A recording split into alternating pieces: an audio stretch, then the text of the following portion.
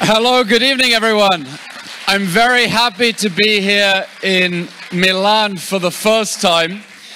Normally, when I go to work in Israel wearing this suit in the hot Mediterranean sun, I'm by far the most overdressed person uh, on the street. And today I landed in a city where everyone is on their vintage Vespas in designer suits, and I feel underdressed. Tomorrow marks eight months since the beginning of the October 7th War, eight months since the darkest day in Israel's history, eight months since the darkest day in Jewish history, since the chimneys of Europe were still churning. Eight months in which the world has had time to reflect on what is truly at stake in this war. What is truly at stake in Israel's longest war since the War of Independence, a war that many Israelis are calling their second war of independence. At stake, is it only the lives of the hostages still trapped in the Hamas terror dungeons? 125 people, over 40 of whom have been killed, who are being starved and tortured and raped and executed by the brutal terror organization that burned whole families alive on October 7th. At stake in this war, is it the right of Israeli families to sleep in their beds, of young Israelis to go to a music festival, to go for a bike ride, for a jog in the morning, and know that they will not be abducted by terrorists in terrorist controlled territory just over the border and taken into a dark tunnel somewhere. At stake, is it the peace, prosperity, security, and existence of the state of Israel? Because this is not a local war between Israel and a Palestinian terrorist group in Gaza. This is a regional war in which Israel is fighting for its life against Iran and its proxy armies on seven different fronts.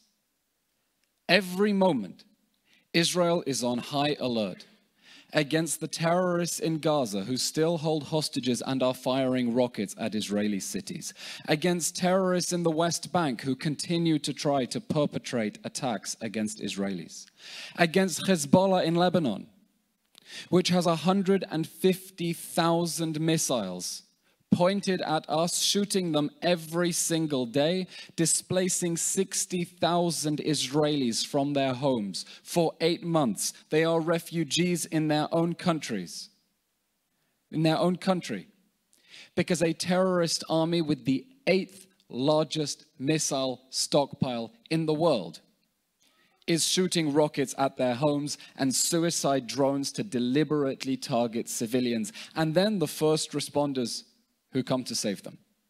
That's three fronts. We also have attacks coming from Syria, from the Iranian militia in Iraq, from the Houthi pirates in Yemen, and from Iran itself. Just this week, we had a drone attack from Iraq that Israel had to shoot down. Iran's proxy army in Yemen fired a ballistic missile at Eilat that we had to intercept in space. Hezbollah set northern Israel on fire. Seven fronts Iran and its proxy armies. At stake, perhaps, is it the peace and prosperity of the Jewish diaspora around the world? Because this is not a war on seven fronts, it is a war on eight fronts where Jews around the world are being intimidated and harassed and threatened. Yes, here too in Europe. Yes, here too in Italy. There's a good reason that the evil supreme leader of Iran, Ayatollah Ali Khamenei, called the protesters on campuses a branch of the resistance front. He is saying they are the same as Hamas and Hezbollah. Because when they chant from the river to the sea, they don't mean they want one single, peaceful, secular democracy for all. They mean the violent destruction of the state of Israel. They know it and he knows it. When they chant globalize the intifada, they don't mean let's all resist in a nice, peaceful way. They mean targeted violence against Jews and Israelis and exporting terrorism across Europe and the West. And Israel has already helped Western governments prevent and foil terror attacks on their own soil. But I think that there is something so much greater at stake in this war, greater than the fate of Israel, greater than the fate of the Jews, greater than the fate of Europe. It's this question Does truth matter anymore? Do facts matter anymore? Does the law matter anymore? Because Hamas is not only waging a physical war against Israel, together with Iran and its proxy armies, it is waging an information war. A war of deliberate misinformation, a psyops campaign against Israel that is designed to poison global public opinion against the only liberal democracy in the Middle East that is determined to delegitimize the Jewish state, make it a global pariah by spreading lie after lie after lie. And unfortunately, there is no lie so ridiculous that people will not believe it about Israel. There is a campaign underfoot now to paint the state of Israel, the Jewish and democratic state of Israel, as the new Nazi Germany. That is the meaning of the despicable campaign by South Africa, joined today by your neighbors in Spain, to accuse Israel of genocide. It is to say that the state of Israel created as a safe haven for the Jews who survived the Holocaust, built by the Jews who were fortunate enough to get out of Europe before the Holocaust, which exists to ensure that a Holocaust can never happen again, is guilty of the same crimes as the Nazis. And that is a campaign that is supposed to make you, people in Europe, think that if the Jews are as bad as the Nazis, Maybe the Nazis should have finished the job back in 1945.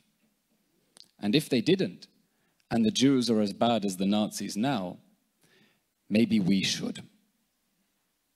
That is what is at stake with the despicable campaign by South Africa acting as the legal arm of Hamas to accuse Israel of genocide a campaign to take a crime defined in the wake of the crimes that shock the history, the conscience of mankind, and to empty it of meaning. Because on October 7th, the people of Israel were the victims of an act of genocide. Hamas sent in its death squads with a view to murdering as many people as it could, as brutally as it could, and it would have killed many more than the 1,200 people it slaughtered in a single day if our men and women had not stopped them. It was a massacre committed with Nazi like cruelty, Nazi like efficiency, in the service of a Nazi like ideology that seeks the destruction and murder of every Jew in the land of Israel and indeed around the world. South Africa is intervening as the legal arm of Hamas to try to save it from the consequences of the war that it started, a war that Israel did not want did not start, did not expect, but is having to fight to bring back the hostages and make sure that never again means never again. South Africa is trying to save Hamas from the consequences of that campaign by turning Israel into a global pariah. Because when you paint it as Nazi Germany, all means are kosher. You do not negotiate with Nazis. You do not talk to them. You do not accommodate them you eliminate them. And that is what Hamas, Iran, and its supporters around the world are trying to hoodwink the free world into doing to Israel. This is a war in which truth has been stripped of meaning. Hillel mentioned earlier the example from early October when an Islamic Jihad rocket shrapnel hit the car park of a hospital and killed a few dozen people but Hamas sent out a press release saying that it was an Israeli airstrike on the hospital that flattened the building and killed 500 people. By the way, when you see Hamas's casualty counts, the numbers of people it claims have been killed in this war, they include the 500 people who did not die at that hospital. This is a war in which facts have no meaning and at which the institutions we rely on as the free world, the institutions we rely on as the international community to be neutral arbiters, to uphold the international rules based order, have been weaponized in the service of a violent ideology. In which, when, as Hillel says, the World Health Organization cannot bring itself to condemn Hamas for waging war out of hospitals, and blames Israel for going after Hamas in the hospitals. It seeks to redefine international law as saying that terrorists have immunity from attack if they hide in the basement of a hospital. And terrorists around the world are taking notes. In which UN officials tell Israel that it cannot attack Hamas targets in Hamas strongholds because civilians might get hurt and then when Israel says that it will encourage civilians to get out of the way and buy tents at the expense of the Israeli taxpayer and create a humanitarian zone so that civilians can get out of Hamas strongholds and be protected, the same UN officials say, no, you cannot attack Hamas targets because then civilians will be displaced. They tell Israel it must protect civilians, and then they try to make it an international, an internationally illegal move to protect them. Swooping in to save Hamas by saying if you hide behind enough civilians, you have immunity. And there is nothing that the professional army of a democratic state can do if you weaponize and exploit international law in that way. So many allegations, completely emptying words of meaning the repulsive allegation of apartheid against Israel, a state in which 20% of its citizens are Arabs, full citizens of the country. They serve in its courts, its Supreme Court, its parliament, in its media. They are our doctors and nurses. I'll tell you a remarkable story. Just last week, I got in a taxi, an Arab Muslim taxi driver from East Jerusalem who told me with pride that he saved two girls from the Nova Festival and that at 6:40 in the morning he bundled them into the taxi, drove them away, his hands shaking on the wheel as he saw the paragliders coming in, and he tells me with pride, if Allah takes me tomorrow, I will die proud that I saved two girls from the Nova Party. That is Israel. Allegations from UN officials that have picked a side, and make no doubt about it, Dr. Tedros at the World Health Organization, Francesca, I'm sorry she's one of yours, have picked a side and they want Hamas to win. The allegations that Gaza is on the brink of famine. They predicted there would be tens of thousands of people dying of starvation by now. The UN has not updated its numbers in a month. Why? Because Israel is facilitating unrestricted amounts of aid into the Gaza Strip. The number of aid trucks have gone up month by month. There is now far more food entering Gaza every day than there was before the war. And according to a recent academic study, enough food that it's 60% more than a woman's recommended daily allowance in calories. Food, Israel is flooding Gaza with aid, and the UN is drowning under it. Just yesterday, Israel released images of the contents of 1,000 trucks worth of humanitarian aid sitting inside the Gaza Strip, waiting for the UN to collect it. And instead of scaling up its operations and delivering that humanitarian aid, the responsible officials continue to repeat the lie that Israel is blocking aid from entering the Gaza Strip even as Egypt refused to let trucks leave El Arish and reach the Israeli crossing at Kerem Shalom, even as Hamas continued to shoot rockets and mortars at the Israeli crossings for Israeli soldiers, even as Israel worked to facilitate aid into Gaza by air, land, and sea. The same UN continued to accuse Israel of choking off aid to Gaza because facts don't matter. What does it mean for you, for Europe, when the United Nations is covering up how Hamas has embedded itself in UN facilities? The attack overnight on a Hamas compound in a school in Gaza was the fifth Israeli airstrike on a Hamas compound in a UN facility just this month. Now, the head of UNRWA, Mr. Lazzarini, is he also an Italian? Swiss. Okay, I'll let you off for that one. Said these claims are shocking and we cannot verify them. He should not be shocked because that is Hamas's modus operandi to embed itself in civilian structures, in UN buildings, in UNRWA buildings, because it knows it will get away with it. Hamas built its, its intelligence headquarters in a tunnel 20 meters under UNRWA's main offices in Gaza that leached electricity from the offices above ground. And the UN claims with a straight face maybe we left the television on on the weekend and that's why the electricity bill was so high. You are suffering from this. Emptying words of meaning, twisting international law as a weapon to continue a military war against Israel lets down not only us in Israel, and we have an army to protect us. It lets down not only the Palestinians as well. It lets down the whole world. It lets down the concept of an international rules based order.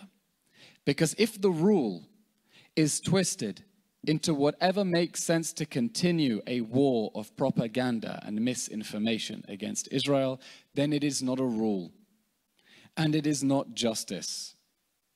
And that is not a world in which the values that we are committed to of international cooperation can truly exist. And that is why it is so important that Israel win this war and why it needs its friends to speak loudly and clearly in favor of Israel's right to win this war. Not to call it to a draw, but to win. To win a war we did not want, we did not start, we did not expect, a war we wish we could wave a magic wand and make it go away, because every day we are losing soldiers who are either 18, 19 year old kids fresh out of high school or reservists. People who on October 6th were planning their next vacation, planning a wedding, planning their next startup, and have found themselves now for eight months, ordinary people, sitting in a tank defending their country, putting on uniform, because that is what their country needs in order for the country to survive. We wish we could make this go away. But we know that if this war ends with Hamas still holding on to hostages, if this war ends with Hamas still in power in Gaza, there will be a next time, and it will be worse. And it will be worse because Hamas will think the lesson it will draw is that it won or called it a draw because the free world stepped in to save it. Because after seeing acts of gang rape and families burned alive to an ash and babies, for God's sake, taken hostage, there is still a baby hostage in Gaza. The free world fell for a campaign of propaganda and misinformation spread by the likes of Iran and China and Russia and decided to leave a terrorist entity on the doorstep of the only democracy in the Middle East.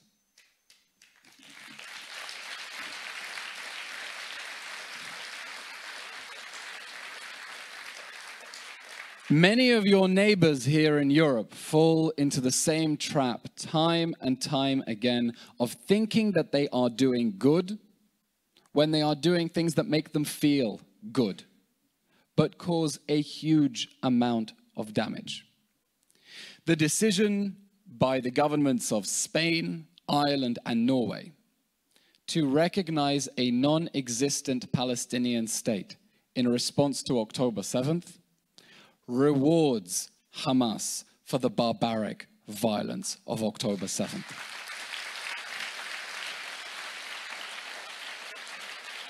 And it incentivizes Hamas to do the same again. And it tells terrorists around the world rape harder. Ireland, the government of Ireland, told Hamas that abducting Jewish babies is a good way to advance their national cause. The government of Norway told Hamas that raping Jewish women is a good way to advance its national cause. The government of Spain told Hamas that burning Jewish families alive is a good way to advance its national cause. And if we want to move beyond this conflict, with the hostages home and Hamas toppled from power, we need the Palestinians to learn that terrorism is a dead end. There is no light at the end of that tunnel. It does not pay. Because if this war ends with Hamas and Iran and their supporters, believing that the free world fell for a vicious campaign of misinformation that emptied truth of meaning, that twisted law beyond recognition, that gave it rewards for conducting in the most savage terrorism this world has ever seen, then there will be a next time. It will be worse, and it will be the responsibility of those who stepped in to save Hamas instead of standing by Israel's side as it fought the fight of the whole free world.